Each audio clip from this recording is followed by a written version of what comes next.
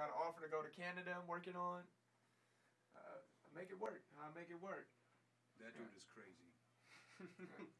OK, takže mohli jste slyšet spoustu, spoustu men, kterým Six dělal předskokaná, každopádně uh, dneska už samozřejmě má vlastní shows jako hlavní interpret po celém světě, můžete sledovat jeho Facebook, na který pravidelně nahazuje videa ze všech koutů světa, kde se objeví.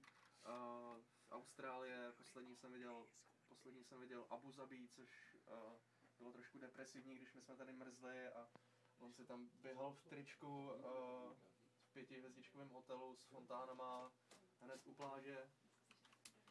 Takže, uh, takže tímhle tím se Six živí, což, uh, což je určitě super.